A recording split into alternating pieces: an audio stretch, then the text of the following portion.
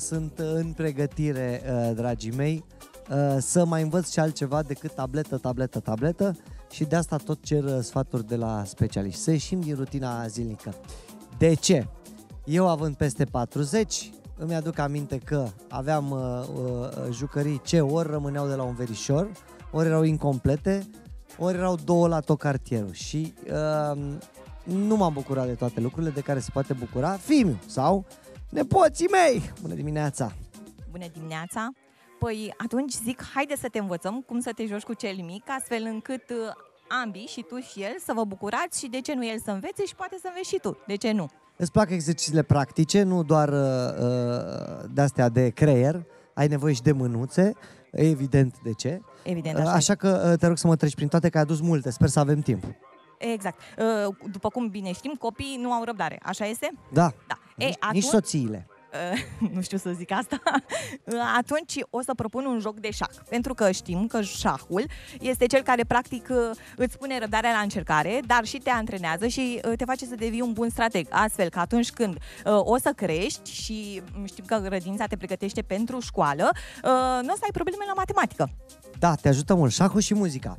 Uh, Noi am pus piesele la Landala, nu ne înjurați, n-am avut destul uh, de mult timp, dar primul pas când îl înveți uh, pe la micu, uh, uh, șah, Da, îl învățăm piesele. este să învețe piesele, cum mută fiecare și unde se așează ele. E destul de greu uh, în prima fază. Da, uh, specialiștii spun că de la prima lecție poți învăța șah, pentru că probabil sunt explicațiile pe care le dau profesioniștii, iar copiii le rețin, pentru că știm că cei mici sunt așa ca un burete, practic absorb toată informația și în felul acesta uneori ne uimesc chiar și pe noi cei mari. Șahul e un joc și cu obiective. De multe ori copiilor le trebuie un obiectiv.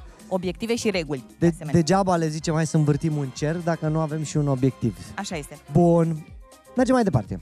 Mai departe, bucătăria, dragă nouă. Știm că cei mici stau de obicei cu mamele în bucătărie.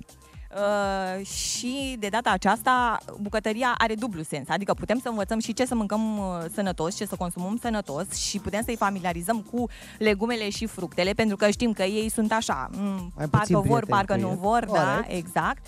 Uh, și creând uh, chestii distractive, așa cum am făcut eu cu acest pepene, practic am făcut un fel de uh, față veselă. I-am făcut uh, un păr, l-am zburlit așa ca să fie distractiv uh, și am pus pe lângă uh, fructele, unele să zic eu că sunt de toamnă, pentru că toamna um, a venit. Cu roadele ei. Da, da, da, cu roadele ei și, după cum știm, ție- știm este foarte bogată. Uh, De asemenea, uh, pentru ei am pregătit și o cocă, pentru că este important pentru dezvol- dezvola- dezvoltarea musculaturii fine. Avem nevoie să modelăm uh, și să facem diverse obiecte, ceea ce vedem noi în jurul nostru și în felul acesta le stimulăm creativitatea, imaginația. Cu riscul să mai facem și puțină murdărie. Asta e. Da, uite, și eu am făcut aici, dar ce să facem? Ce să facem? Este plăcut că putem să-i antrenăm după în a face curățenie. Asta e, cred că asta e cea mai plăcută activitate în bucătărie. A luat. Este, este, de asta l-am și făcut. Uh, avem și un joc, pentru că putem să ne și jucăm. Uh, învățăm, ai, uh, aici am provocări, iar aici am obiecte, sănă, uh, am obiceiuri sănătoase. Dacă copilul dă cu zarul și în funcție de asta știe și numărul, ve- poate vizualiza și numărul, el mișcă acolo, 1, 2, 3, depinde la ce pătrățică dă, în funcție de număr, extrage un bilet și părintele citește, pentru că știm bine că în perioada preșcolarității cei mici nu știu să citească. Îi ajută părinții, că de-aia avem pe părinți, nu doar Da. este să-i un păzească. joc împreună, pentru că ne dorim foarte mult să-i apropiem pe copii de părinți și pe părinți de copii.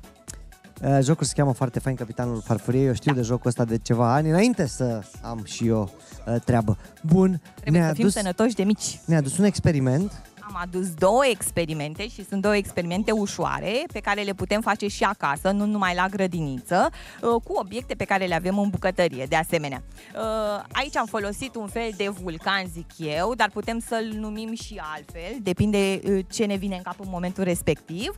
Uh, Și am folosit uh, tubul de la hârtia igienică și hârtia de staniol pe care o avem în bucătărie și astfel încât am construit un vulcan. Ne mai trebuie oțet Da. uh, și avem aici bicarbonatul. Ajută-mă, mă, mă ocup eu. Zim. Uh, Da, sigur că da. Păi, te rog să pui bicarbonatul uh, în, uh, înăuntru acolo. Uh, Cât vrei tu. Cât mai mult. Ca să iasă frumos la sfârșit. Perfect. Și acum poți să torni oțet peste, să vedem o reacție chimică, pentru că experimentele uh, îi ajută pe cei mici, tot așa, îi rețin, adică îi fac să fie atenți, ca și șahul de asemenea, să socializeze și să aibă o muncă de echipă, pentru că întotdeauna este nevoie de doi. sau chiar mai multe persoane. Ia uite ce frumos!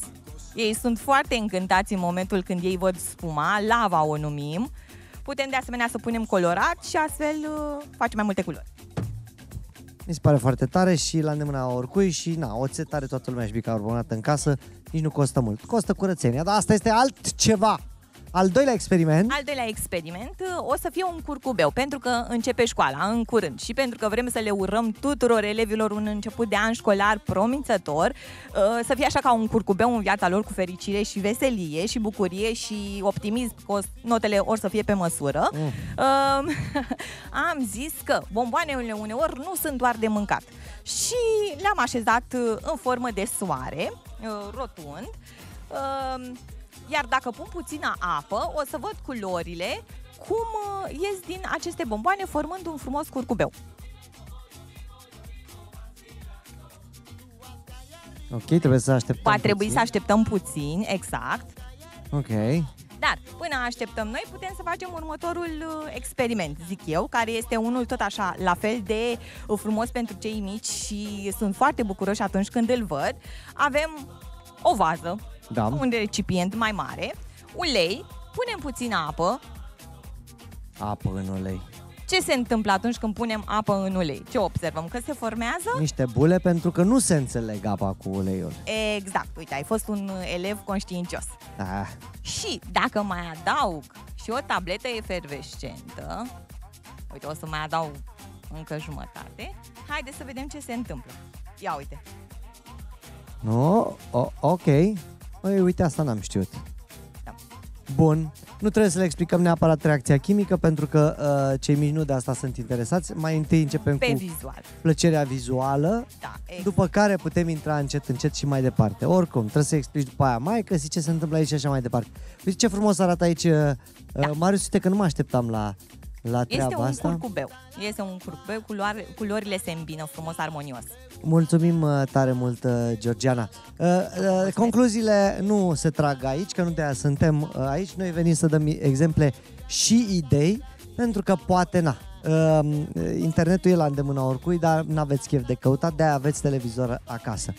Vă ținem pumnii și în acest uh, sezon, uh, reîncep activitățile de toate felurile cu cei mici. Ei trebuie să fie uh, activați, bineînțeles, că din proprie inițiativă unii nu vor decât să stea pe tabletă.